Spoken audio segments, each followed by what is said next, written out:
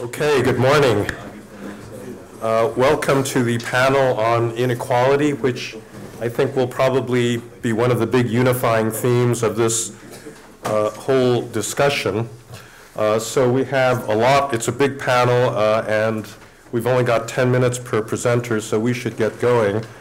Uh, I would say that conceptually, this is a really interesting issue. Everybody has the feeling that inequality and democracy are related, but exactly what that relationship is is complicated. So even in the proto papers that were submitted, there's a couple of very different outcomes. That, on the one hand, inequality could lead to depoliticization and passivity, uh, as in uh, Nolan's, or else it could have the Latin American effect where it leads to hypermobilization and revolution.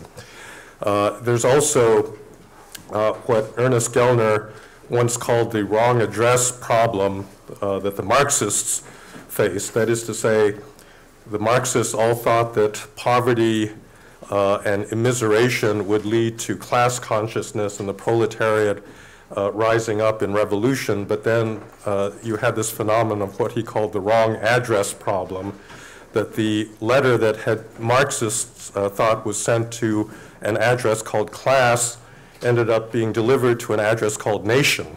And um, uh, it turned out that uh, national identity hijacked, uh, you know, this impulse that was supposed to lead to, um, to the proletariat rising up. I think today you could also say that that address, uh, that letter is now being addressed or, or delivered to an address called religion uh, in certain parts of the world. Uh, so let's just begin. We're going to stick to the uh, order of speakers. I'm not going to read their bios because you have them, but we're going to stick to the order uh, that's on the program. So the first paper will be by Carsten and Kristin, and I understand Kristin will be the one presenting. Good. Good morning. Thank you very much for this opportunity to present. So I'm presenting um, some research uh, that Carsten and I have conducted together. It was published in Socioeconomic Review last year. Um, that's the main empirical part. Um, and then we will be uh, trying to expand what are the consequences or implications of what we have found there. Um, okay. Um, so our research is looking at the extent to which socioeconomic inequalities transfer into political inequalities. And specifically in this case, we're looking at unequal participation in politics. And just as a point of clarification to start with, what we claim threatens the quality of democracy is not individual decisions to abstain from politics, nor even the overall decline in participation in politics, but really what we find is problematic is systematic distortions in who votes. So we're looking here specifically at the underrepresentation of socially disadvantaged citizens and claim that this could have strong effects in the long-term erosion of the quality of democracy. Um, it's well known that both in Europe and the United States, and maybe even more broadly, socially disadvantaged individuals tend to participate less in politics. And here uh, we can connect to the point that was just made that we're not seeing necessarily a mobilization of underrepresented or disadvantaged citizens, but actually the exact opposite. But what we found particularly interesting is we find that the extent of this participatory inequality varies dramatically across democracies. So this graph here shows the gap in the likelihood of voting between high and low educated individuals across capitalist democracies. And we find almost no gap here in some countries like Slovenia, Denmark, Ireland, Spain, but extremely large gaps in education-based participatory inequality in United States, Poland, Slovakia, Hungary. And so here we're interested in what explains this variation. Why do we see participatory distortions based on education in some capitalist democracies and not in others? Well, our argument is multi-level, and we argue that basically at the macro level, one factor that matters that's largely been neglected in the participation literature is welfare state, which we understand in a very broad sense to also include labor protection and social programs. And we argue that productive, uh, protective and supportive welfare state actually encourages participation of disadvantaged citizens. And it does so by increasing their resources and their networks of engagement.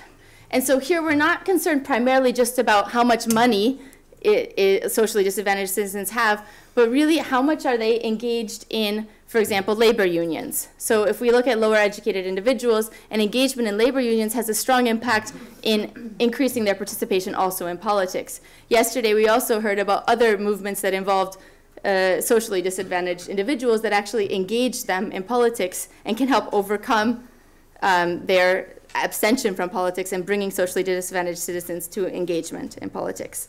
So we see that lower educated individuals in welfare states that have greater protection and greater social support end up with higher resources, cognitive and material, and greater networks of engagement, which increase the lower educated propensity to vote and lead to lower participatory inequality. So at the macro level, what we're seeing is stronger welfare states, more protective welfare states, tend to lead to more equal distributions of resources, more equal engagement of citizens, socially disadvantaged and uh, more advantaged citizens, and this overall leads to lower participatory inequality. Our analysis suggests, um, our more statistical analysis overall found a macro effect of labor market programs, stronger labor market support programs, active and passive, and greater employment protection, leading to lower participatory inequalities overall. But more importantly, we found distinct combinations of um, welfare capitalist features, which we use the term welfare regime types, that all lead to lower participatory inequality through different mechanisms. But we found these three groups that actually we see that some support in the welfare state can lead to greater engagement and greater activity of uh, disadvantaged citizens. I don't spend the time to go through each of them individually, but rather we'll look at the bigger claims. So what does this mean for us? It means that we see the uh, lack of engagement of socially disadvantaged citizens in democracies. We find this problematic, especially in a long-term sense. If policymakers and politicians get used to the exclusion of these citizens, then they can act um, against their interests in a longer-term sense. But what we want to find is maybe a more positive message is maybe there's, maybe there's an alternative. Maybe there's a way we don't have to just accept this as the inevitable fate of all democracies. We find variety across capitalist democracies. And we suggest that welfare states actually can reduce political inequalities as well as socioeconomic ones, which is particularly problematic if we say that we are in an age of permanent austerity, which has now been going on for decades, apparently. Um, and we see the further liberalization of welfare states and we claim that this could actually lead to the slow hollowing of democracy because this is one of the mechanisms of re-engaging disadvantaged citizens, of bringing them into politics, of increasing their networks of engagement. And if we see further liberalization um, or retrenchment of welfare states, this will likely accelerate the inequalities in participation, resulting in an erosion in the quality of democracy in the long run. Okay, thank you very much. That was uh, remarkably under time.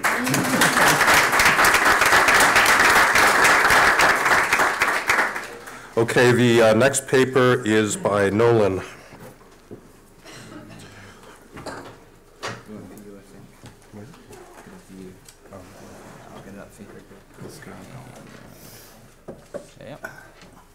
Okay. Uh, yes, please. Uh, as has been mentioned several times uh, over the weekend, that there are lots of reasons why there's a large degree of discontent with democracy. So what I'm going to do is I'm going to focus on two of those in the United States. Uh, we've talked about the degree of political polarization uh, and how that impacts democracy in varying ways. In some countries, there's too little polarization. In some countries, there's too much. The argument about the United States, of course, is that there's too much. Uh, and we've also talked about the role of economic inequality, economic change and how that uh, has affected the level of democracy. So I'm going to try to tie both of those themes together uh, and talk about how those factors have played out uh, over time in the United States. I'm going to show you some trends in both uh, economic inequality and political polarization, uh, and then tell you what I know and what I don't know about the extent to which they're linked. So let me start with uh, a measure of political polarization. And throughout, when I talk about political polarization, it should be noted that I'm talking about legislative polarization. Voter polarization, polarization of the mass public is a separate issue. Uh, the trends are not always the same, although they're becoming uh, increasingly similar. I can come back and question and answer and talk about those differences. Uh, but these are measures of polarization uh, of the U.S. Uh, legislature, uh, the House and the Senate. going back essentially to the end of the Civil War, or the actually technically the end of Reconstruction. Uh, and these are constructed using voting, uh, roll call voting on legislation in both chambers, uh, which is then used to put each member on a left-right continuum. And so the measure of polarization is just simply the average difference between the parties uh, on this uh, on this continuum. Uh, as you can see, and, and, it was mentioned yesterday, you know, the polarization is not a constant in the U.S. It's been rapidly increasing over the past 40 years. Uh, and by these measures is a level uh, equaling or exceeding that of the U.S. at the end of the Civil War. Uh, so that, that's a, I, I don't want to make too much of that comparison, but it just should give you some sense of the level of party conflict. A couple other takeaway points here. Uh, the House and the Senate look very similar, so kind of micro-institutional explanations uh, tend not to carry much weight uh, in explaining polarization. Uh, it's not because the House has smaller uh, ge gerrymandered districts or anything particular about the rules of the chamber, which have varied a lot over time. Uh, the two uh, the two trends uh, tend to move very closely together. a second takeaway point, which I think is very important, uh, it's not the cause of any singular event or action of an, of an individual. These are long-term trends. They're very continuous. It wasn't caused by you know the election of Ronald Reagan. Uh, the impeachment of Robert Bork, uh, the 2000 election, or the election of Barack Obama. Uh, if I took the dates, if I took the dates off the uh, chart, you'd have a hard time finding where those events took place because you really don't see much from those particular uh, incidents.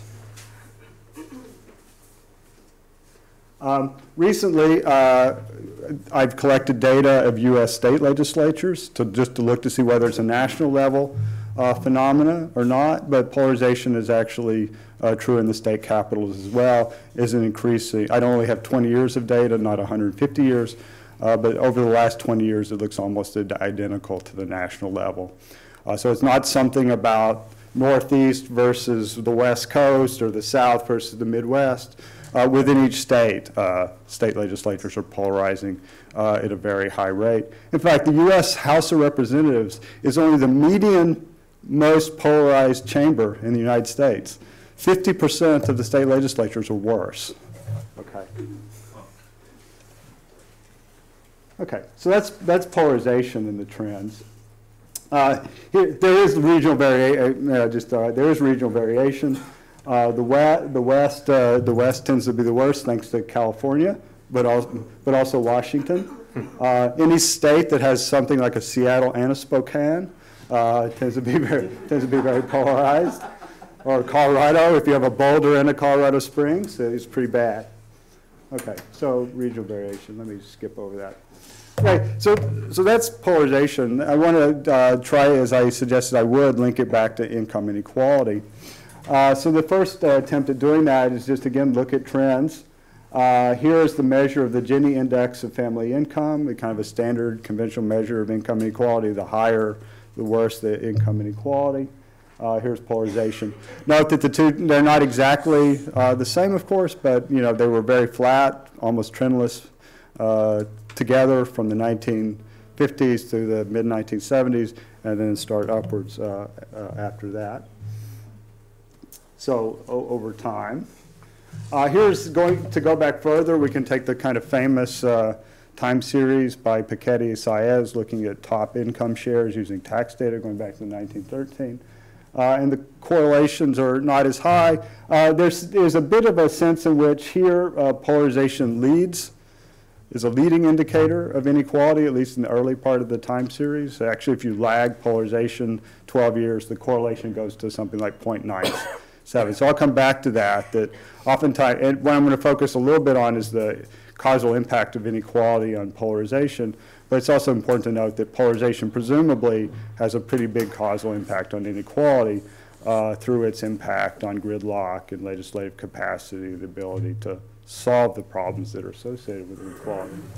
Uh, it's not uh, simply the top 1%, the correlations, if I go to the top 0.1%, or the top 0.01%, they all, they all look about the same. Um, so on one level, uh, th these pictures do nothing to kind of establish any sort of causal relationship. But at a minimum, they should show why there's a large degree of discontent, even if they just simply go together through happenstance.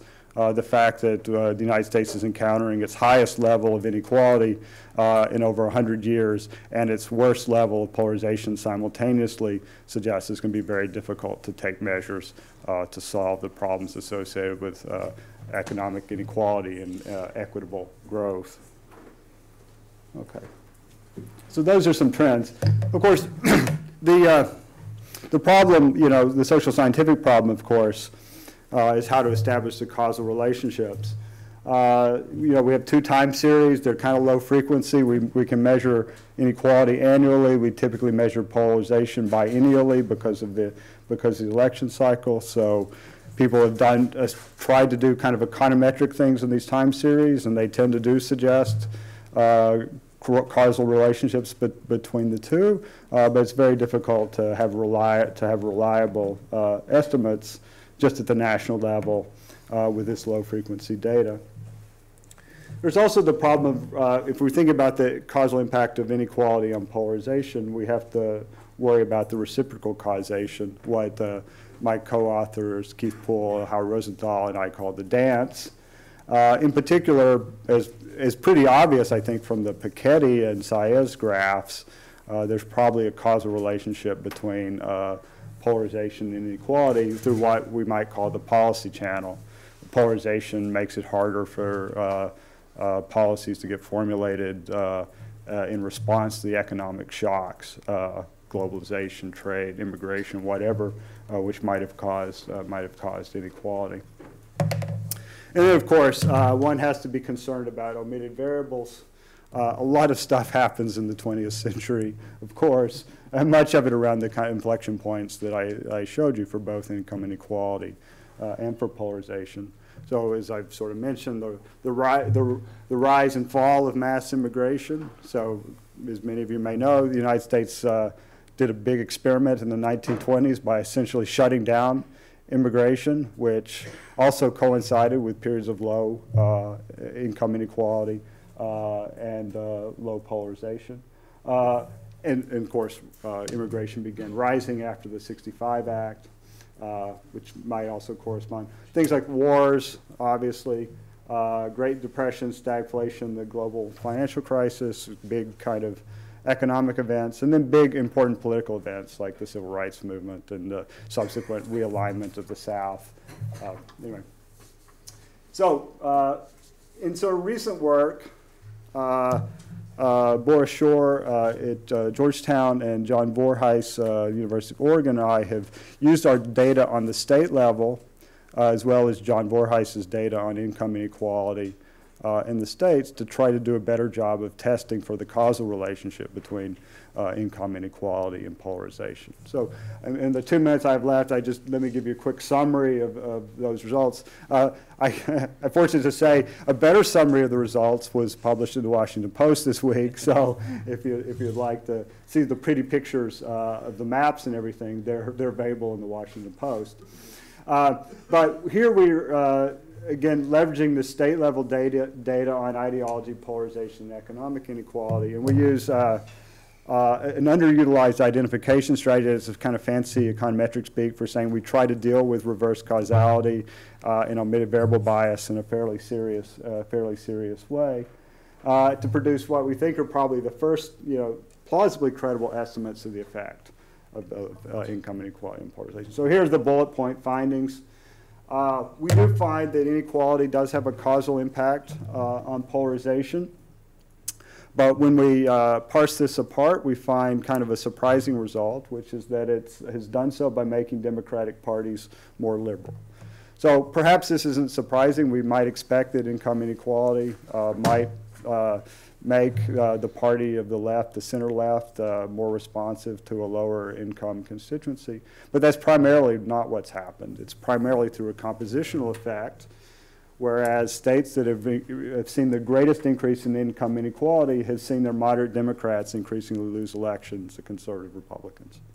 So that on net, uh, the effect of income inequality has been to move the Republican, has been, uh, it, it, also moves uh, Republicans to the right, Uh, but uh, the net effect has been to have more conservative, more Republican legislatures. In fact, the effects of income inequality are the biggest in the states, which are now uh, the reddest, uh, meaning the meaning the most meaning the most uh, Republican.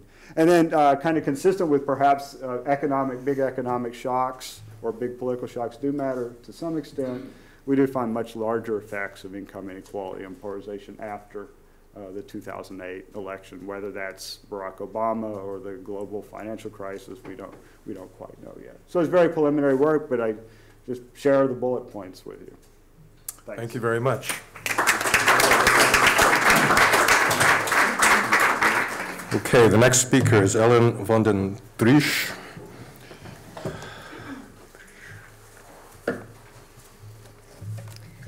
Yes, uh, thank you very much. Also, thank you very much for the invitation. Um, at the beginning of this year, the European Union published a policy review that Professor Jutta Allmendinger and I wrote on uh, social inequalities in Europe. So the review is about 100 pages long, and I was uh, invited to present some results. So um, what I would like to do is I'm just going to focus on the major issue that requires determined action, and that's education and inequality. So, um, as education is considered to be crucial for all kind of stuff like employment opportunities, income, good health, and so on and so forth, opening access to education and improving the quality of education, therefore, have always been um, among the most important goals and responsibilities of modern governments. So, among the societal challenges that Europe faces right now, the greatest one lies also in reducing educational poverty. Um, since poorly educated people, you, I will show it to you later, um, have a hard time finding jobs and living an independent life. So educational poverty is depi- defined in this presentation as well as in our review on the basis on degrees and acquired competencies.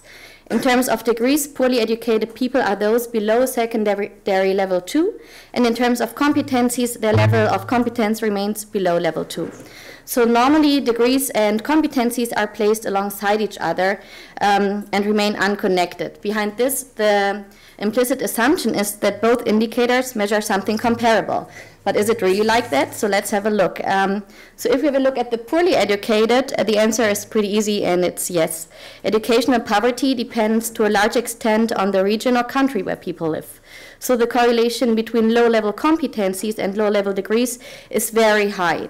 So you can see Spain and Italy at the one end in the right corner, and Finland and the Czech Republic at the other end as the best examples. So here the x-axis relates to the share of the 25 to 34 year olds with low competence levels.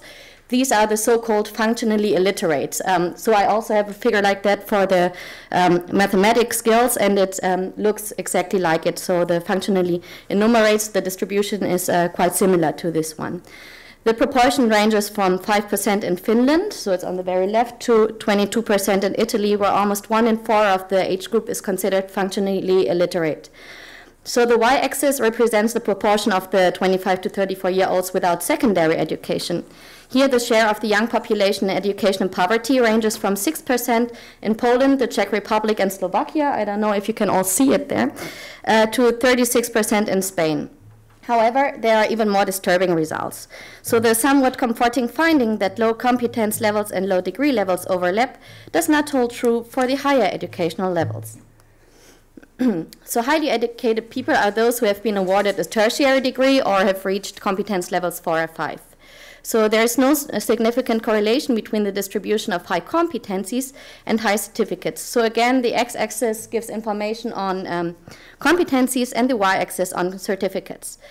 So if you have a look at the competencies, Finland is here with 35% boasts the greatest proportion of high achievers by competence, followed by the Netherlands, Sweden, and Belgium with more than 20% each. At the lower end lays Italy, which has fewer than 6% of the 25 to 34 year olds with high reading competencies. The country's proportion of highly educated by um, certificate differs dramatically compared to this.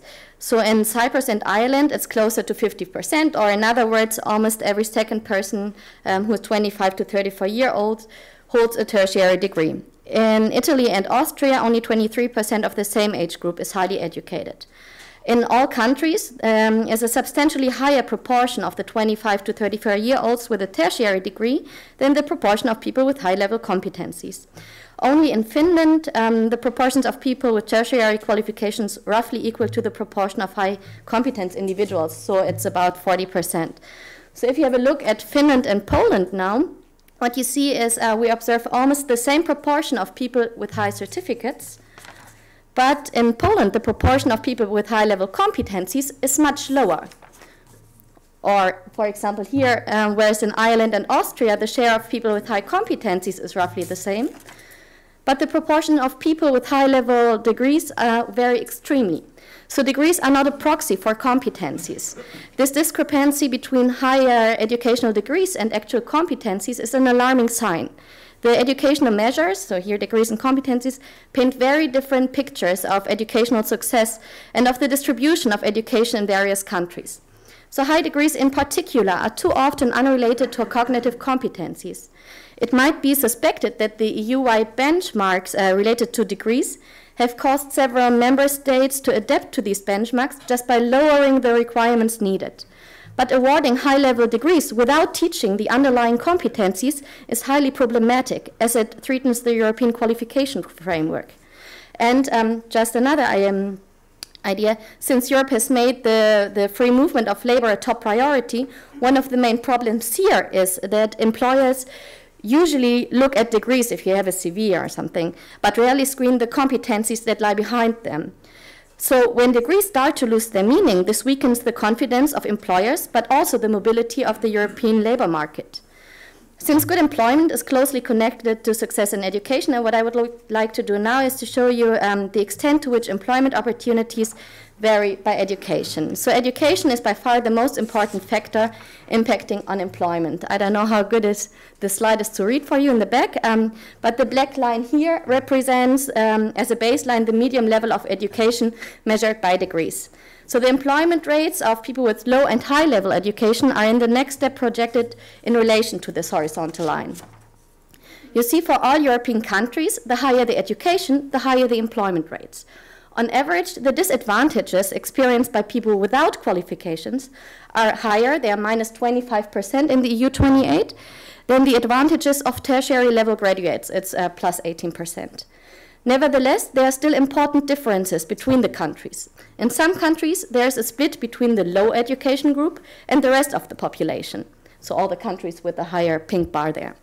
Uh, for example, Slovakia or Czech Republic, also Hungary, Poland, while another group of countries offers highly educated individuals particularly good employment rates, so all the countries where the blue bar is higher. For example, what is it? Um, yeah, here it's Greece, it's 2012, um, Spain, um, Portugal, so on. Um, as with employment rates, the various qualification of employment differ dramatically by education, so the different types of employment. Yeah, since I have a look at the time, um, I don't going to show you the figures now, but I can show it to you later, or maybe in the discussion I have it in the appendix. Um, however, uh, but as much as education and employment matter, at the end of the day, people need enough money to live. So this is why I would like to come last not least to finance, financial returns to education.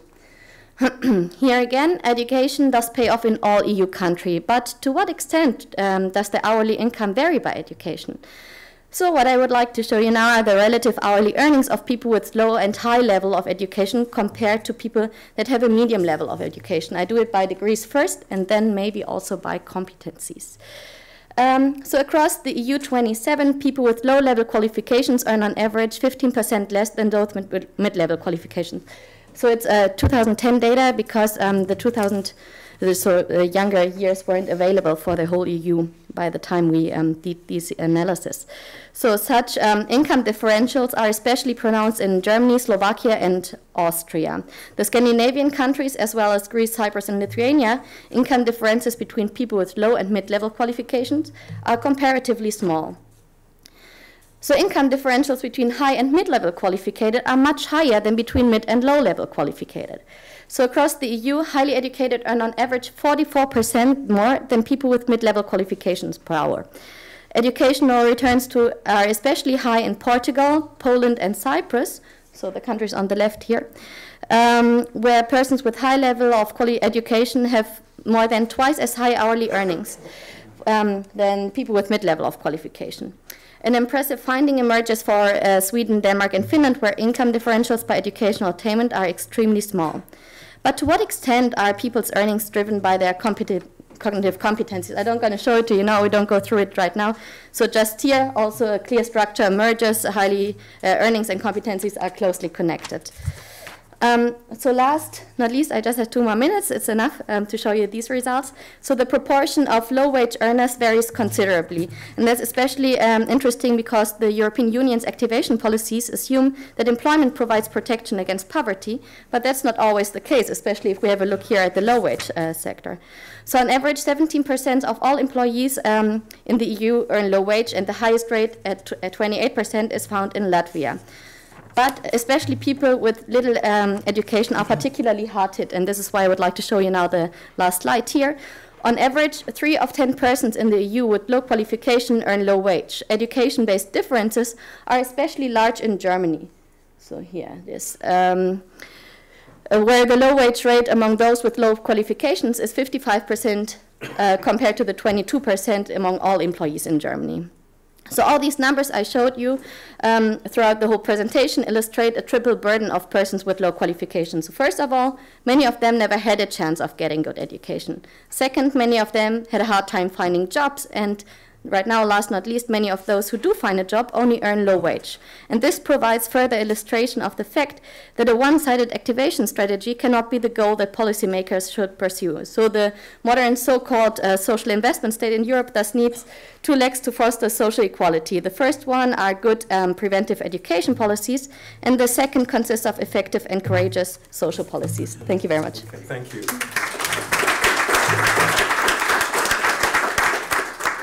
All right, the final presentation will be by Ben Ansell.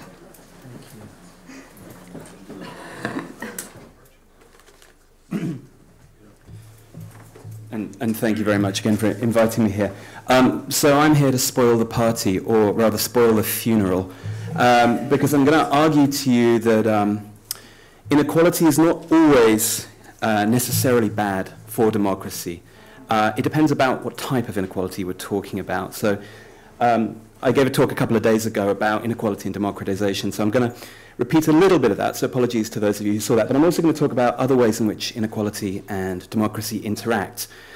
And I think what I want to emphasize, what I want you to take out of this talk, is that when we talk about inequality, it's really easy to slip into this rich against poor. Inequality is a unidimensional way of thinking about the world, where there's a certain amount of stuff out there, and it can be split more or less equally among a group of people we can call the rich and a group of people we can call the poor. But of course, the stuff that exists in the world doesn't just come like manna from heaven, unfortunately, right? It has to be produced. And it gets produced in different ways, in different sectors. And so we can talk about different types of inequality that come from different sources. I'm going to emphasize two different ways of thinking about inequality today. Uh, one relates to my book with David Samuels, where really we're talking about rural inequality versus inequality that emerged from commerce and industry. And then I'm going to conclude, which relates to another strand of my own work about inequality that comes from income versus inequality that comes from wealth. And I think what we'll see is that when we split apart inequality as to where it comes from, we get quite different answers about its effects on democracy, both in terms of transitions to democracy and then on the very functioning of democracy itself. So that's the message I want you to take. But I do want to say I'm really excited that political scientists have discovered inequality. It's, amazing that it took us about 200 years, but we're on it now.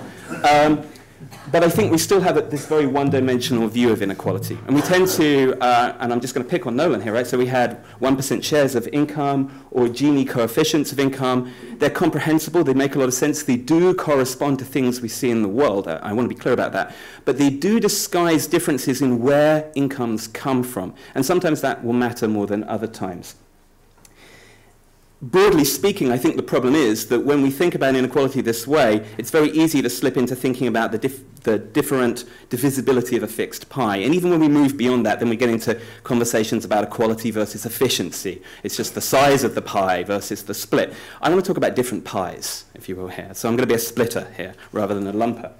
Um, because I think it's important not, for social scientists in particular, not simply to split the world in this Manichean way into the elite versus the masses, the rich, the poor, then the us, but to think about different elites who don't always get along. And now here I think about some of Nolan's work, or Larry Bartels' work, where a lot of the polarization in American politics is driven by the different attitudes of different rich people, right? Rich liberals versus rich conservatives.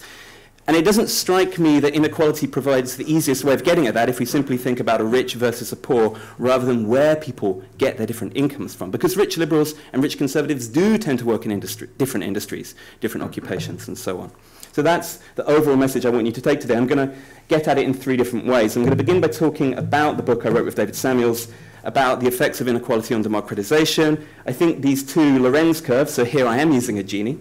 um, uh, against my own advice earlier on in the presentation. Here are two uh, classic Lorenz curves, which are the distribution of people in societies, the population, uh, going, uh, line them up, as you would do, right, uh, from poorest to richest. Imagine a world in which everyone was lined in a row by income. And then we take their cumulative proportion of income, and this gives you the Gini indicator. So on the left here, we have a very equal society where most people earn the same amount, and then a few people earn a lot. And on the right, we have what by a Gini is a very unequal society where there's lots of differentiation in income. So where did we get these two Ginis from? Okay, here's the trick. The Gini on the left is China in 1880. The Gini on the right is Britain in 1867. Um, those are pretty extreme examples uh, of economies in very different states of industrial development and in very different states of democratic reform.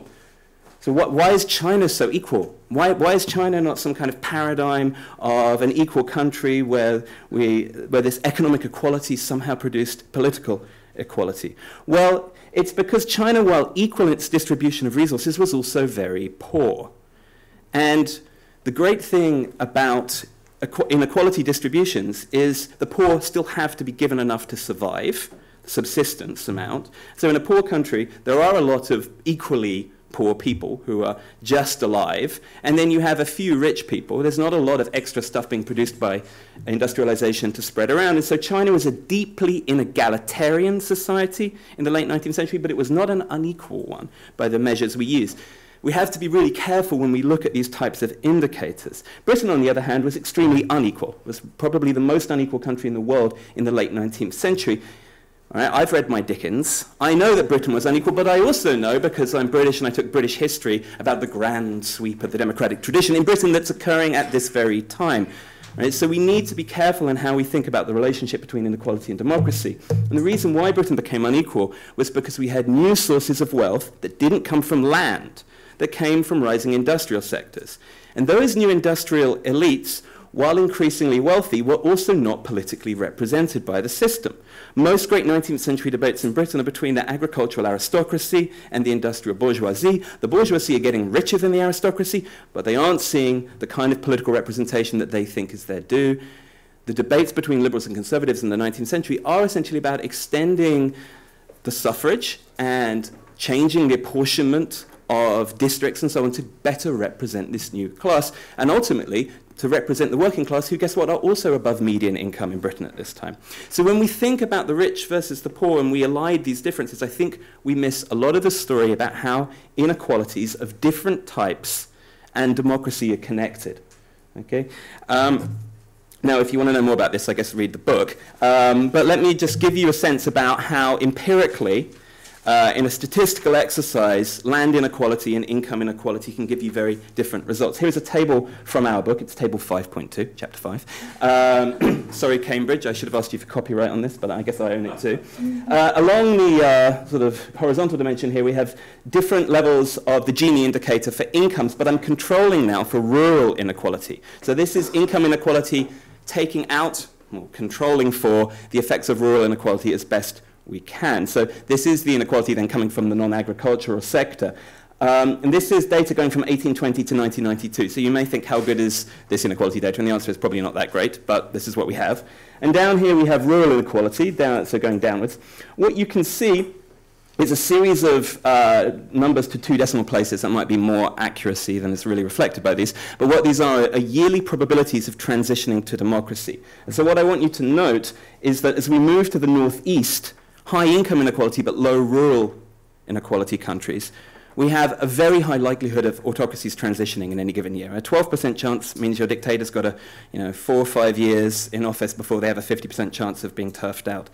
At the bottom here, we have highly rurally unequal countries with very low inequality. China in 1880, yeah, you survive forever under these conditions. So inequality pushes in very different directions. Now, of course, this is probably more true in the 19th century than it is today. So we might think, okay, what are the modern analogs to this? But a way to think about this is what land is like is it's a stagnant sector that can be split up in a variety of different ways. And industry here is a growing sector with new elites. And it doesn't take much inventiveness to think about other cases of old elites and new elites. And so I give you a couple of examples that I have not proven and that I've not tested, but, uh, but are here. Post-communist transitions, we have elites that control the privatized state-owned enterprises, and then new commercial elites trying to create businesses outside of what previously existed under communism. There's a potential tension there with the new elites wanting better representation or less likelihood of expropriation. In countries that had ISI development, those uh, groups that were part of the formal import substituting sector against new commercial elites. So different types of inequality are produced by these sectors growing differently and produce different tensions. Okay, so that's transition. What about survival? Does income inequality harm democracies? Well, David and I have started looking at this, and the answer is hard to know doesn't actually appear to be much of an effect of income inequality either way on democratic survival. That might be good, actually, right? Because we see income inequality increasing in the world. It doesn't necessarily mean that uh, emerging democracies are likely to fall, but real inequality is unequivocally terrible for democratic survival. So let me show you a couple of examples of this. This is a graph um, that just shows the statistical effect of rural inequality. That's rather dull. So let's look at this one here. Here we replicated a very well-known article by Adam Przeworski and Federico Limongi, uh, which was the modernization theories and facts argument, where they showed that countries above a certain income per capita never reversed back into being a dictatorship. So there's this line that once you cross, you become immune to collapse. And what we show in the paper is that that's, that line is much, much lower, at a much lower level of income for low rural inequality countries. So the red bar here is our survival bar. And you can see for the whole sample on the left, it's at about $9,000 GDP per capita. But if we split the countries by whether they're above or below median rural inequality, we see for low rural inequality countries, you can be much, much poorer and survive. Right? It's an important substantive implication here of thinking about these things differently. So what I uh, want to conclude with is thinking about the kinds of countries we've been talking about today, wealthy, advanced industrial countries, and think about is there a way that we can tease out differences in inequality that matter here, right? So I've, I've quoted Nolan's new article here. I'm very excited to have read it last night. Um, but there's lots of ways in which we think inequality affects representation. But what's true about almost all of these works is that, again, it's a split in income shares. And so my recent work has been on housing and trying to separate the effects of housing and wealth outside from income inequality. And I have not yet really looked at wealth inequality as a distribution compared to income inequality. But when I started doing this, I found that there are some very surprising results when we look at wealth inequality. In the first most obvious thing, this is from Britain, this is from the, um, an LSE report from the Centre on Social Exclusion, uh, in 2010. This is the net non-pension wealth in the UK. What you can see if you look at the 90th percentile and the 10th percentile here is the 90th percentile is about 11, 12 times higher than the 10th percentile in wealth. That's about three times larger than the 90-10 ratio in income. Wealth is just much more unequally distributed. Right? And it's changed at different times. This is a bit hard to see, but on the left-hand side, this is income inequality measures in the UK. On the right-hand side, it's wealth. The orange lines are the things to look at. If you're colorblind, I apologize. Um, income inequality goes up in Britain in the 80s. Thatcher. Okay, maybe not a shock. Or maybe it's Reagan, who knows. Um, maybe it's John Paul II. Uh, on the right-hand side, we have, um, we have wealth inequality, which rises on the, in the 1990s. It's Blair or Clinton. Okay? So wealth inequality and income inequality have been timed at different parts. Presumably that's to do with access to credit in different ways.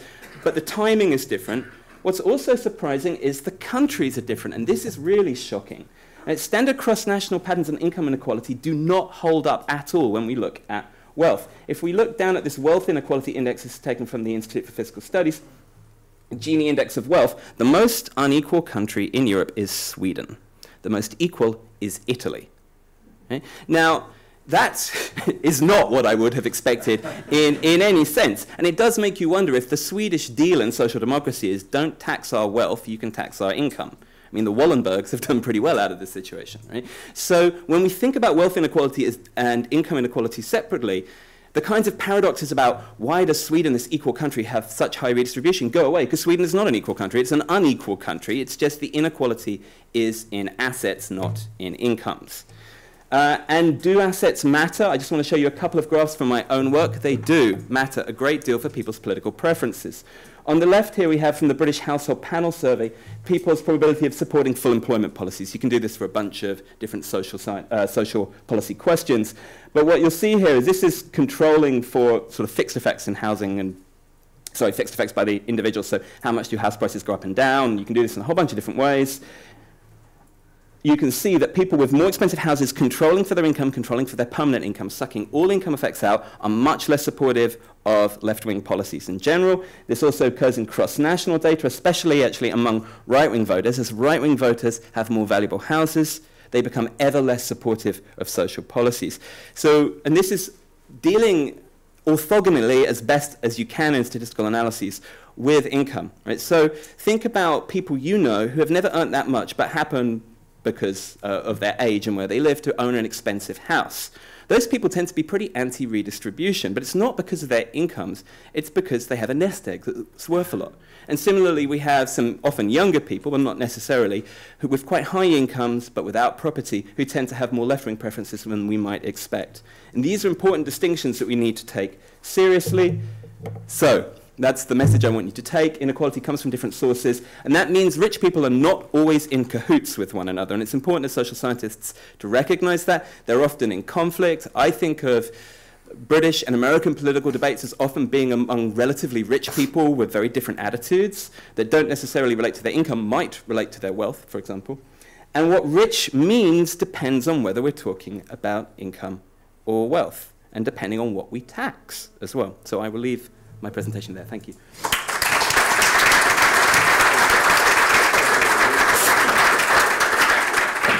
Okay, that's actually very interesting, Ben. It seems to me that you're giving empirical confirmation to an observation that uh, Barrington Moore actually made quite a few years ago, basically that uh, landed wealth is really a much bigger obstacle, and in fact, the new wealth created by the bourgeoisie is one of the drivers of democracy, but it seems to me your data shows that. That's right. You know, quite right. quite nicely. We certainly borrow our theorization from Barrington Moore. Yeah. I do not want to take full credit for that. Right. Okay, so I want to actually start by posing to the whole panel a series of questions because I don't think we've quite gotten at some of the big issues that we're trying to deal with in the conference. So if there's a single journalistic observation that people widely hold about the rise of populist political parties. It's that somehow it's being driven by inequality, that the people that are signing up for populist parties in Europe or for the Tea Party or uh, for other groups uh, like this, political groups like this in other parts of the world, tend to be lower income, less educated, people that are threatened by immigration and uh, worried about losing, you know, their welfare benefits uh, to other people. But a lot of the, pa the panelists don't actually seem to support that. So question for Carsten and Kristin is, you seem to be saying that basically the inequality just produces passivity and withdrawal. I mean, so is that, is that observation about populism uh, not correct? The big question for Nolan is one I've had for a long time, which is, so it's this weird result, right? You get higher inequality, which should normally, I mean, in a, so in a place like Latin America, that drives Hugo Chavez and Evo Morales and all these left-wing populists, but in the United States, it drives the Tea Party. Uh, and that just seems to be a really strange uh, result because, as I was saying yesterday, a lot of the Tea Party's policy preferences will actually make that inequality worse rather than, uh, than better. So how does you know, that uh, get reconciled. And I guess the general question is, you know, do people on the panel actually feel that these connections, the empirical connections that you can draw between, uh, well, oh, I guess one other, one other very curious thing is if you look in Europe at where populism is rising, you do get the kind of classic left-wing populism in uh, Spain with Podemos and Greece with Syriza, so that's kind of understandable.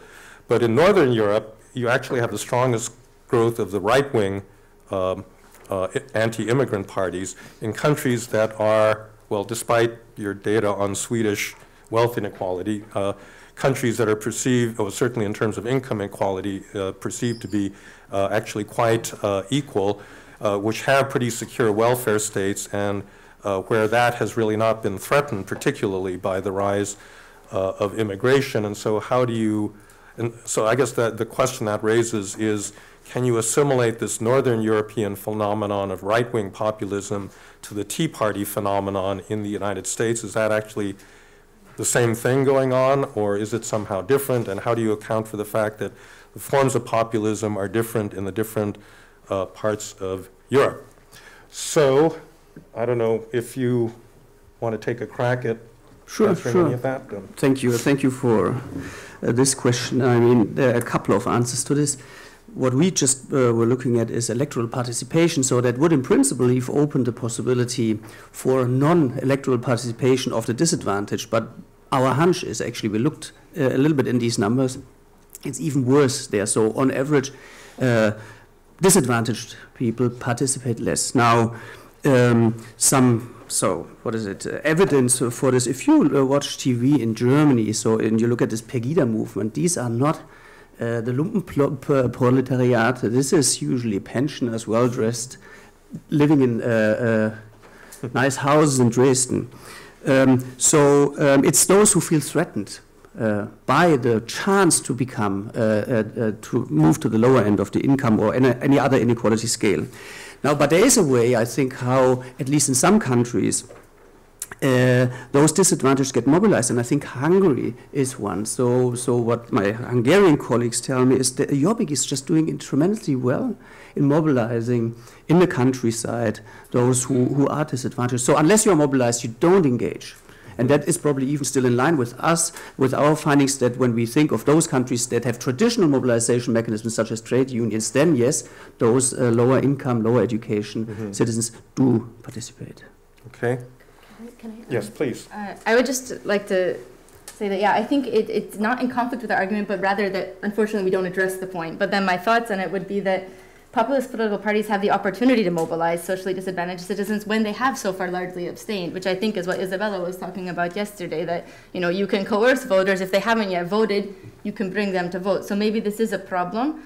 However, I think what we've seen largely, the rise of populism, isn't necessarily on socioeconomic grounds. We're using more identity issues to rise. And here in Hungary, I mean, what the findings about Jobbik is, yes, it's in the rural countryside, but it's also highly educated young people. Uh, and and uh, we're not necessarily talking about socially disadvantaged that are being the primary target of populist parties, but actually people feeling somehow threatened on more identity terms than, than, than mm -hmm. So I, am not sure I have a complete uh, or a completely satisfactory answer to the questions about the, the role of the Tea Party in all this. Um, I would make the observation that um, the, no, the popular notion that the Tea Party is a part is a group of uh, lower than middle class white citizens just isn't true. It's a fairly it's not a wealthy group by any means, uh, but they, they tend to be people that are higher up in the income distribution uh, than, than the popular, the popular image. Uh, they're often small business owners, uh, people who, while not very high on the national income distribution, rank very high on the local income distribution uh, mm-hmm. because of the parts of the country uh, that, that, they're concentrated in. and so they, um, so, so in a large way, they're, they're not as mysterious as, as, as you would think.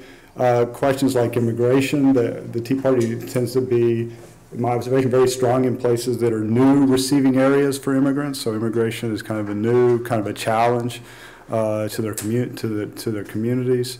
Um, so uh, I think it's not a kind of a, it's not, it's a populist movement for sure, uh, but it, it's very different in terms of its class composition than the populist movements that we're observing in Europe. A second observation uh, uh about the Tea Party comes from some work that uh, I did on the financial crisis and the response to the financial crisis.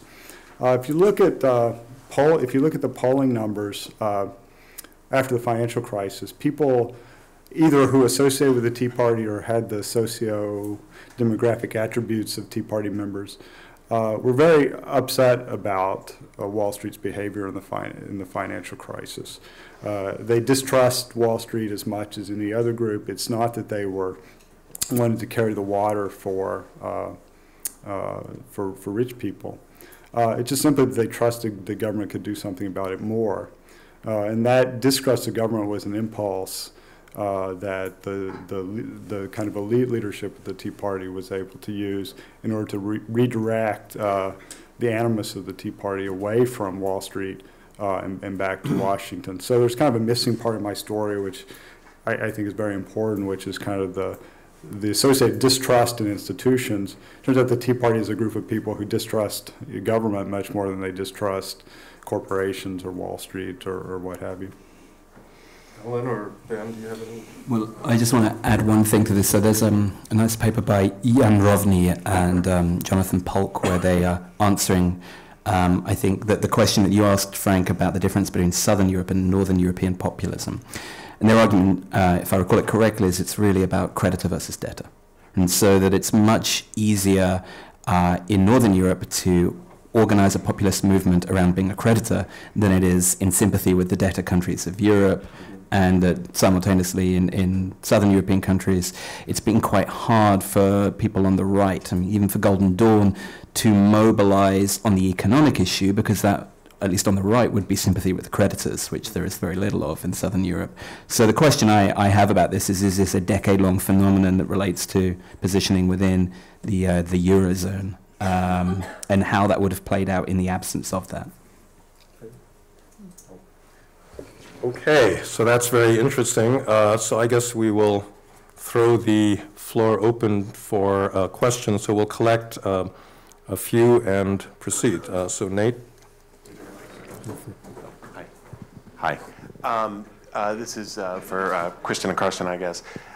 The I want to get a sense of the relative importance of these economic and educational factors as compared to legal regulations because at least in the in the proto paper the, the factors that often are seen as big uh, having big effects on voter turnout are things like obviously compulsory voting, proportional representation, um, sometimes presidentialism. There's sort of a, a nonlinear effect of the number of political parties that are in a coalition, things like that in the end, though, what you say has to be right. I mean, it also is confirmed by, by, by all the data that look at, and it's not just social engagement so much as it is engagement with government enterprises. So, for example, United States, farmers have a, a, a, surprisingly higher voter turnout than they would because they deal with the government a lot. And so, so uh, it, you know, if you're in a welfare state where you have to deal with the government and, and are um, sort of accustomed to bureaucracies, you can navigate elections in, in, in better ways. But I was just sort of interested in the relative importance of the law and the, and the data that you have. Okay, let's collect a few. So Isabella. Yes. Um, um, also for uh, Carsten and Christine. Um, I don't know if you're aware of this uh, recent paper in AJPS by my two colleagues, Kimuli Kasara and Pavi Surana, which look at turnout inequality around the world. Now, if you put your sort of universe of cases, I mean, sort of their big claim, basically, which is counter to your claim, this is why I want to bring this up. First of all, it's very hard to understand income inequality, and sort of since this is a relative measure, how much of it depends on sort of right higher participation of the rich versus the poor. Their claim is that in these countries, the sort of right, there is a higher turnout of the higher income groups than the lower income groups versus as you move towards, you know, if you, if you were to include the, you know, Latin America and Africa and sort of the rest of the world, that's where the high turnout inequality yeah. of the poor comes in. Okay. That's also so very true in India. In India, exactly. the so once you sort of broaden the universe of cases, the, the whole picture sort of reverses, all the findings reverse, and then sort of the welfare state. So what role does the welfare state play in? Well, it's sort of, you know, these law, it's kind of clientelism and sort of right mobilizing the poor through, you know, sort of right through clientelism. So I'm, I'm really not sure now what to make of, you know, of these times. So now there's a very nice, interesting tension, but I would sort of want you to, to sort of maybe reflect on it and sort of Yeah. tell us so how to reconcile both the findings, the relative position of these countries in the broader cross-national union, but also sort of the relative role of the welfare state in mobilizing kind of low-income groups. So since they're both directed to you, why don't you answer? You want to Uh, take We'll, we'll get to, you- yeah, we'll get to Vanessa. Um, So first, so I should. Please, please. Um, so addressing controlling for other factors. So uh, the ones we controlled for, uh, compulsory voting was statistically significant.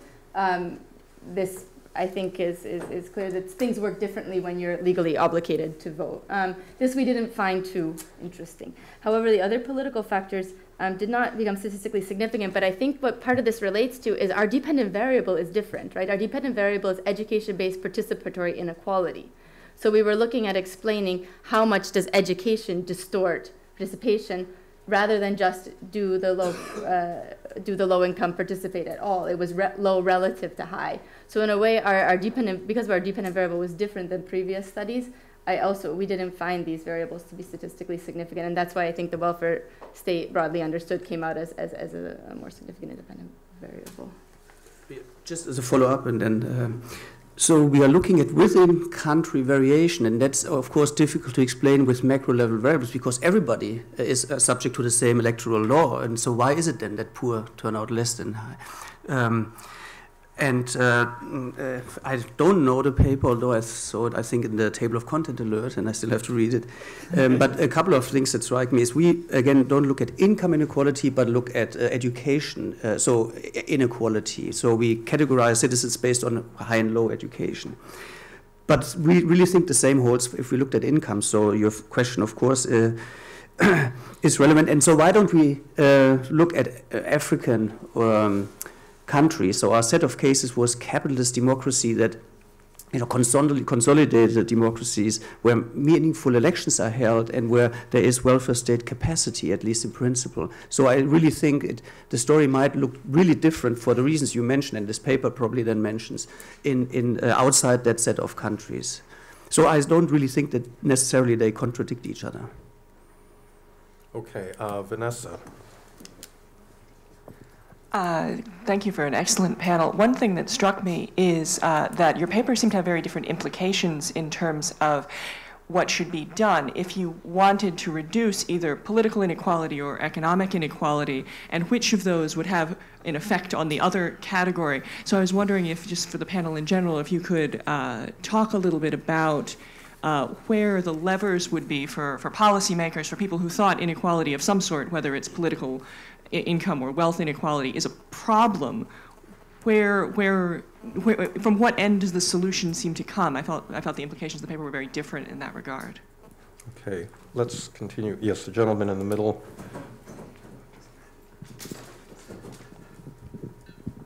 Uh, I'm, I'm Peter Robert, uh, uh, representing Institute for Political Science, Hungarian Academy of Sciences. Uh, I enjoyed the panel. Uh, uh, I learned lots of things. Of course, education is an important intervening variable. And I also agree that we, uh, when we analyze uh, the role of education, then the returns to educational attainment is very important. Uh, this was part of uh, the presentation by, by Ellen. Um, and um, this is something what economists uh, uh, analyze uh, all the time.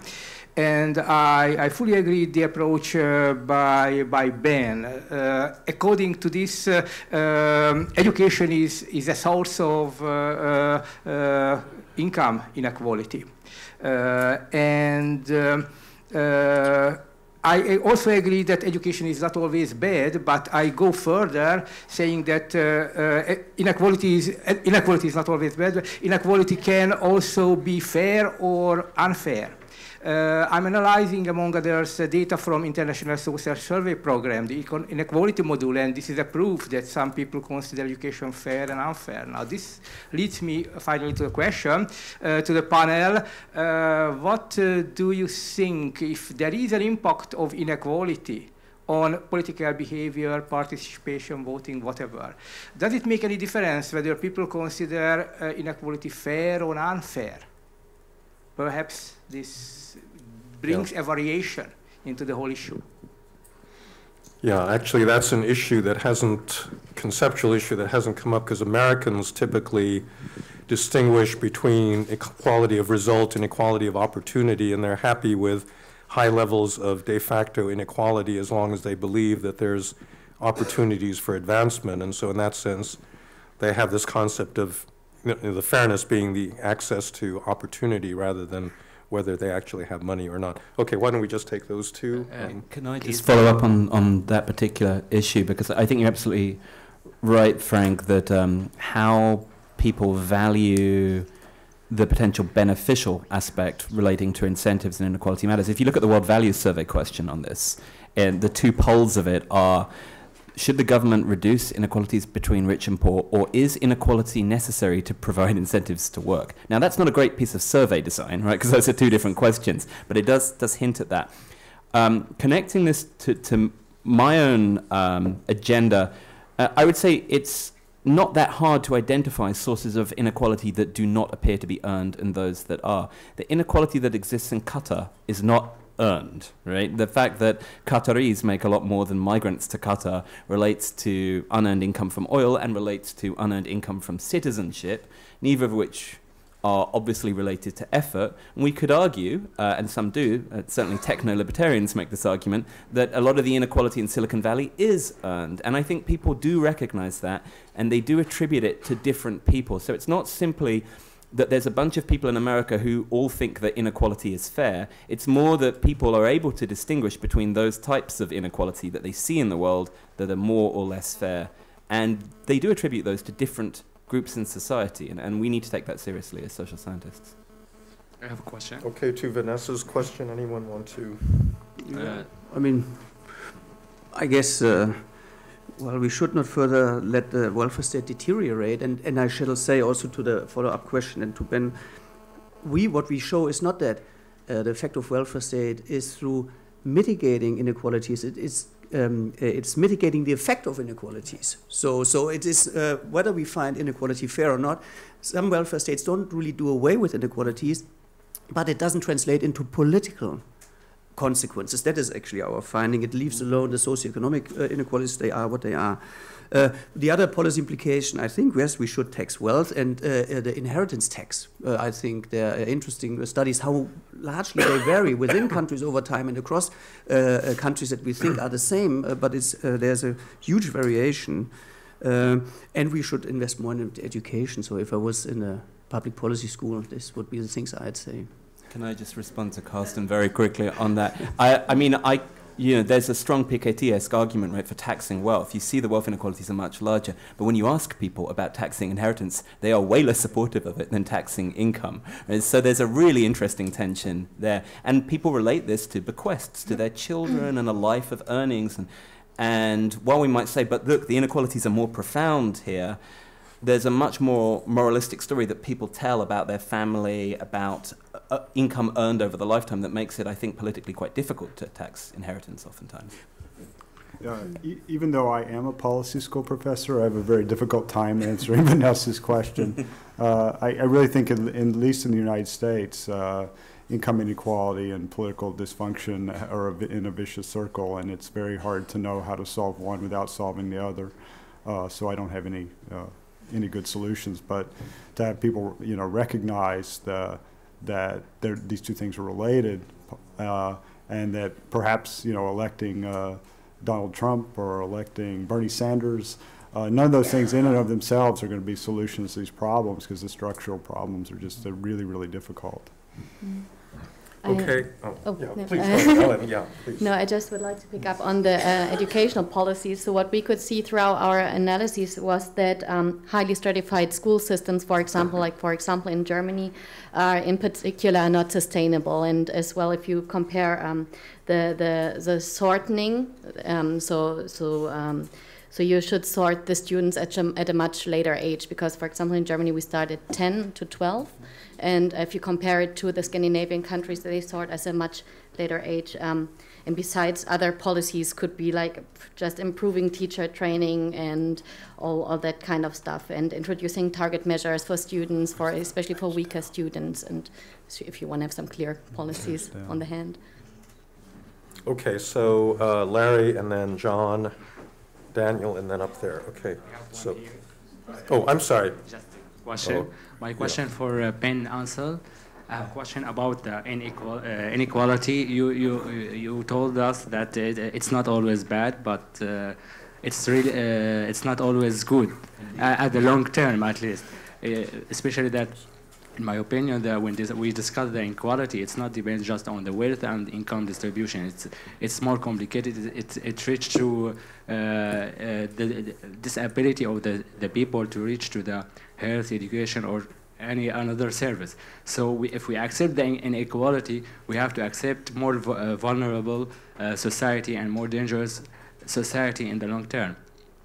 In addition, uh, we discuss uh, uh, something uh, the inequality in just uh, about the sources of inequality, but who is the, the responsible for the inequality?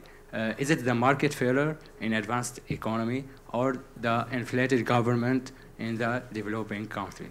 Thanks. Okay, um, Larry?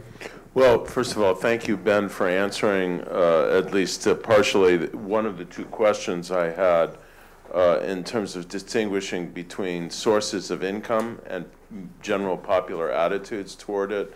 In terms of the notion that uh, rents are regarded differently, I, I think that the current attitude toward um, uh, income from uh, you know uh, wealth management, banking, stock manipulation, I think kind of falls into the Qatari category uh, and is a um, kind of not fully exploded ordinance in our political system. the question that I uh, wanted to ask the panel in general, you know, is it that the real problem confronting democracies now, and you know, the answer to the paradox of Sweden, is really kind of how democracies not deal with uh, income inequality in general, but the underclass in particular, that is poverty or persistent low income. Uh, and, you know, if you frame it that way, that's a somewhat different way of framing it. Uh, and then it, you know, it raises a very distinct and obvious set of policy challenges. Okay, uh, John? Um, I want to get to some definitions here, which would be very helpful, at least for me, to understand a little bit more uh, the two key variables. One is polarization, and the other is welfare state, um, because it seems to me that those are regarded as critical uh, factors in, in uh, certainly in, in uh, Kristin and Carsten's paper and in Nolan's as well. So on the, on the welfare state question, um, what are, what are we really talking about here? Is it um, a question of income support, or is it a question of social services, or a question of tax policy, or some other uh, underlying feature of the welfare state? Because it seems to me each of those is likely to have a differential impact on uh, participation. Um, and I can imagine some that would have a big impact and others that might have a, a lesser impact. So I'd like to know what you were using in your definition of welfare state. And then for Nolan, uh, on the question of polarization, uh, it seems to me that here again, one, one can look at that from many different perspectives. First of all, there's the question of party profile or party membership or where the party has gone. As you said, some parties have moved further to the left or further to the right, depending on the, the, the time frame.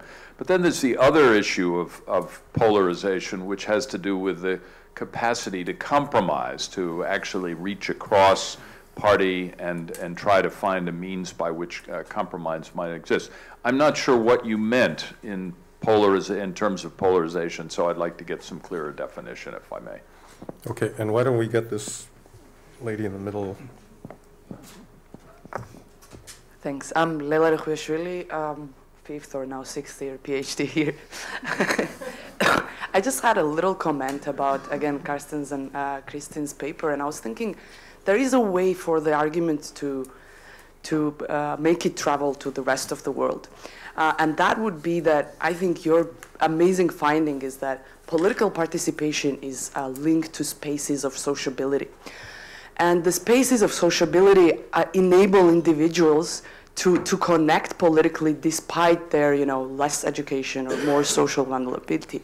And then if I think of uh, this argument taken to the case that I look at, which is Georgia, uh, there it becomes very interesting because in some cases certainly uh, low educated and more socially vulnerable people exit. And they exit in many senses like they exit in social and economic sense but also politically.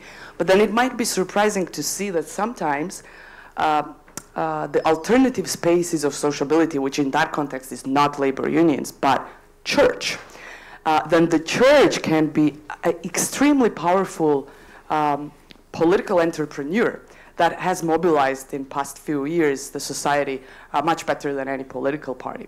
So I would say that, I mean, this is just, you know, one example, but I think that uh, this same argument could travel in different forms in different contexts if you uh, look at it this way that you look at sociability and then in the other context it might not be welfare state or labor unions but other spaces for it and as uh, Isabela Mares said very often these are you know informal circles thank you okay let's go back to the panel let me, let me respond to the question about unpacking polarization so the, really the question is to what extent is the, the differences, so the, let me back up just a second. So the, the measures are based on voting behavior in Congress, and so really polarization is, in some sense, inversely proportional to the number of bipartisan coalitions on a vote. So why have bipartisan coalitions disappeared? Well, there are at least three kind of logically distinct reasons. One is that the parties are just ideologically more distinct, so they're just kind of behaving sincere in their kind of sincere behavior. They just agree less often, and therefore they're mu much less likely uh, to vote with one another. Uh, there's a second reason, which is that they kind of uh, uh strategically uh, disagree. They've decided for electoral reasons it looks bad to, some sense, collude, coordinate, cooperate uh, with the other side because it's much more important to have a, uh, uh, perhaps to not have a bill pass than to give credit to the other side. Uh, and the third reason is perhaps just attitudinal, that there's been a, ch a, change in the culture that says that cooperation isn't important, compromise is bad, uh, you know, principle is more important than, than passing legislation. It, all three things are clearly are clearly going on, and they're going on together. In part because they're not, in any sense, mutually exclusive. The extent to which there's ideological differences is going to generate the incentives to disagree strategically, and greater ideological distances is going to mean that your attitudes toward compromise are going to change. So, so all three things are there. It would be wonderful if I or others could, you know, come up with some way of parsing parsing them all parsing them all out, uh, but it's just uh, almost impossible data-wise. I mean, but there's good kind of ethnographic evidence, again, but it also suggests that all things are going all things are going on. It is true that the new crop of members in Congress uh, are less likely to think that compromise is important than previous cohorts. But they also clearly, I think, sincerely have much greater ideological differences with the other side. So it's, it's a good question, but one that's hard to answer. I can take some and Kristin, uh, probably then not in John's, uh, to Leila. Uh, so, yes, I think um, the propensity to participate in politics isn't necessarily fostered by explicitly political social groups like parties and trade unions. There's a paper by Ivers and Soskice who find it's actually private groups, I mean, the, your football club and, and what so. And if we combine this with Putnam's famous uh, Bowling Alone, argument that further explains why uh, socially underprivileged uh, disengage because they really meet less with people. Uh, um, if I understood Larry's question uh, correctly, uh, so in, in essence, we in our paper not really are so much uh, looking at inequality overall. We focus on the lower end of the distribution and find that there's something going on and that, uh, that, there's a problem that some democracies solve better than others. So we are not talking about the super rich and what to do with Wall Street uh, uh, bankers and so on. That certainly is a problem, but we don't really address. Yeah, so um, to get to the definition of welfare state, well, we didn't do as wide of a, a, scan with all countries globally, but we did include a rather diverse group of 37 capitalist democracies, not only advanced ones. So that meant when we had defined welfare state, we were taking broader than just a, Western European definition. The factors we included were labor market programs, employment protection, wage coordination, union density, income support, social programs looking at expenditure. We did not find evidence, which uh, actually was against our original expectations, if I speak here very honestly, for social support. Income support programs did not seem to be the factor that was vital. And this actually led us to, for our future research, to think about okay, what is the mechanism at work then? And here it links very much to Leila's point that I think we are talking about networks of engagement and the welfare state as a means either of engaging with government as, as, as, was brought up earlier, or as a means, so employment protection brings longer tenure at workplace, which brings more stable social networks, which often can be a, a part of being engaged in a society, which also seems to be affiliated with engagement in politics. This was also done by Verba and all in the 1995 for the United States, that yes, it's very much networking, it's church organizations, it's not just this. So I think this is a, a way forward as a mechanism if we then go to Larry's question of what, what was, how do democracies deal with underclass, then I think this could be one of the approaches. Okay, how do you engage underclass in social networks, and, and how do you make this with the caveat then, but not the type of engagement that Isabella was talking about where you engage to coerce voting. So there I think is a very fine line. How do we engage? And I mean, I know examples in Hungary of, of professors from CEU even who went to Roma communities and made presentations about civic engagement and were trying to engage. Now, is this coercion or engagement? I think we have to um, be careful about what this is, but this could be, um, I think, bringing up an awareness. And if we go to like Larry Bartels' work in the US, I think one campaign or one policy approach, go back to Vanessa's question, could be education of what is your own interests. Um, and this could be for upper class or lower class. We're not talking about anyone. We often see that people self identify their class incorrectly very often and their interests incorrectly very often. I don't know whether we want them to correctly identify or not. That's a different question. But for the underclass, perhaps raising awareness about their own interests without going into the realm of co coercion would be um, one sort of policy approach. Okay, well, if you'll permit me, we've got less than 10 minutes left. I, am still not quite satisfied with that we're getting some of the answer, but I want to summarize what I've been hearing uh, a little bit. So it seems to me that if you think about inequality and its political effects, the most dangerous part of the income distribution is actually not the fifth quintile, because those people are actually hard to mobilize, you know, for a whole variety of reasons. The more dangerous parts are like the fourth and the third quintiles. So they're people that think that they're middle class and are fearful of losing that middle class status. Uh, and that's, you know, and I would think actually if you think about both the left wing and the right wing versions of this in the different parts of Europe, that's actually where the constituencies come. And actually, I would say here in Hungary, you know, the support for Fidesz is, is you know, coming from something like that uh, social strength. So is that roughly right? uh, and then, but the, the thing I don't think we've adequately addressed, and, and um, uh, it, it, it, it is, is this question of, you know, as, as far as I can see, politicians when they're faced with a population that is fearful like that, they've got a lot of alternatives as political entrepreneurs, and they can mobilize people on the basis of class, on the basis of nation, and on the basis of religion. And you see plenty, of, and so this was that wrong address thing of Gellner's that I was talking about. And as far as I can see in the United States, one of the reasons that class, class has just not been a mobilizational tool that anyone on the left has been able to use which is kind of curious given you know the high degree of inequality. And I think part of the reason for that is that on the left, the agenda has actually been dissipated into either environmentalism or identity politics, where gender, race, ethnicity, you know, or environment have become the dominant issues and not class. And as a result, the left wing party has completely lost touch with the actual uh, working class. In Europe, uh, I think it's a little bit different, where actually nation and cultural identity have become the dominant mobilizing, you know, banners, uh, less than class. And so there is a class element in, in the mix, and inequality does matter, but that's actually not the, you know, the central issue around which politics is organizing, except in Southern Europe, it is a little bit more, you know, just a straightforward uh, economic one. But one of the big questions then is, why is it that you get this variance where, you know, different forms of identity sometimes displace class, sometimes it, you know, sometimes it's religion, sometimes it's, it's uh, nation, and so forth.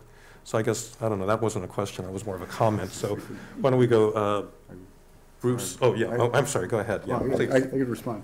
So I- actually, I was, I was joking with Ben that the most uh, dangerous uh, decile, or percentile of the income distribution is the 0.01%. Uh, So let me just, just show you this, uh, this picture, and I think it's a in part an answer to the question.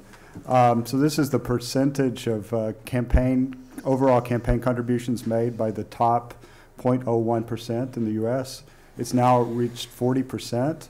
The bottom line is the percentage of income uh, going to that uh, part of the income distribution, which has gone up dramatically. It's a scale. I showed you this picture on other scales. It's gone way up, but it's dwarfed by the, the amount of financial contributions coming from that sector. And I think this is a big part of the Democratic Party's conundrum, is that they need they need votes and they need money.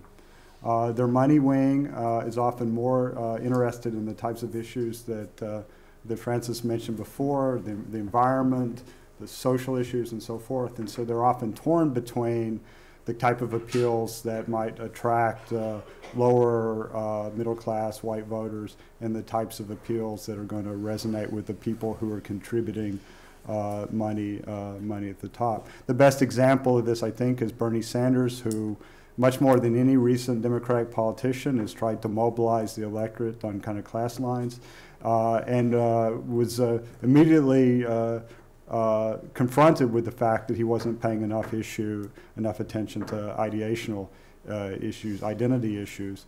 And so, so I think that, and, and one worries, would, would worry as a Democrat that if he were to get the nomination, a big chunk of this money here uh, would go would go away. So, so it is a real conundrum for the for the Democratic Party in the U.S.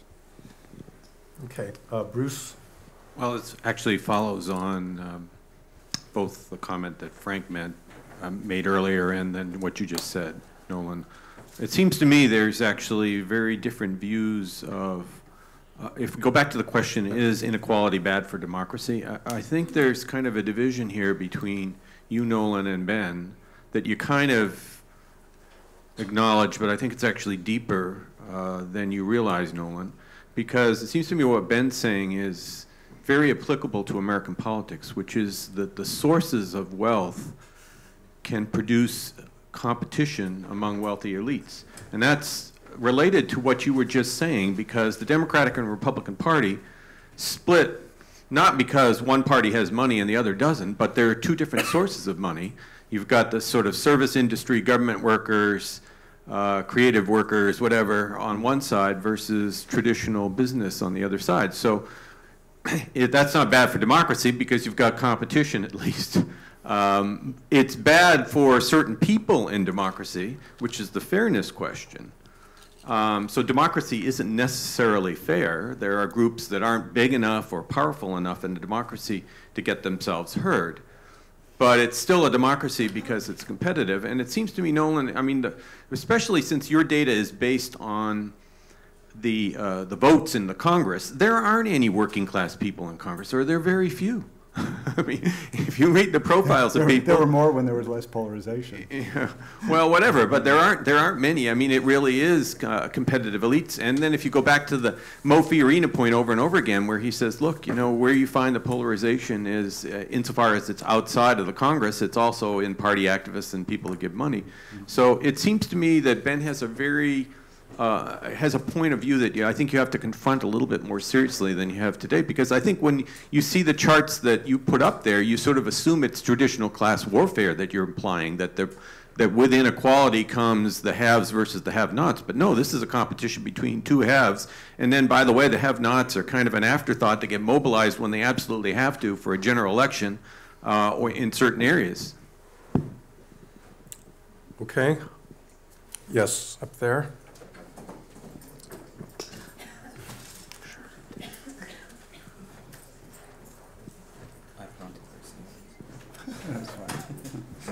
Just following up on some of the last points also by uh, Professor Fukuyama. So I think the role of race and racism is really important here. In Hungary, also the one major reason why the extreme right and partly the right wing can mobilize uh, based on social inequality because they they put the blame on Roma people and turn other poor people against Roma people. So I would like to ask you, how do you see the role of structural racism in this? Because it seems to me that it may be that in a way communities, like such large community as the European Union, do not deserve the ability to deal with inequality in any credible and effective way if it sustains such an awful structural racism than as what takes place in Europe against Roma people, and not only in Central East Europe, also, for example, France has been pushing back Roma. So, so with that hypocrisy, already the credibility of public discourse and policy discourse can be undermined, and then it can disable a community to deal with inequality effectively. And it seems to me it's not separable from other forms of inequality. What do you think about that? Thank you. Yeah. Okay, well, it's 11:30, so why don't we just take one more question way up at the top, and then we'll have to, unfortunately, close it off there.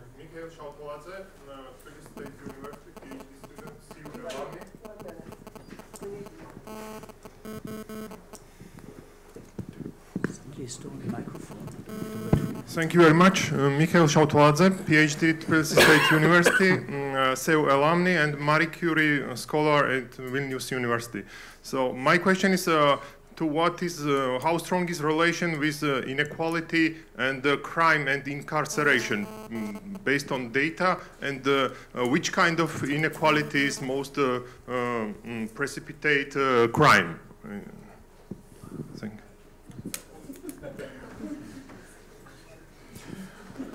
Uh, actually, I am I'm actually happy to take that question on because I, I think that this is a very important issue. Uh, so in the United States, uh, there is a correlation between race and crime. I mean, just statistically, there's there's no question about it. Now the causes of this are very complex because you have this excluded population that you know, lives in very poor, disorganized conditions, and so naturally you get crime, but it's also, that correlation exists in Europe uh, as well.